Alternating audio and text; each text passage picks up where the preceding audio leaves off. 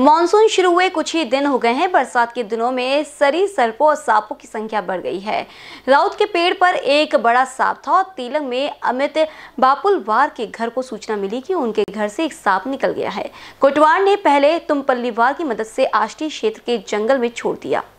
चामोशी से BCN news के लिए बबन वडट्टीवार की रिपोर्ट।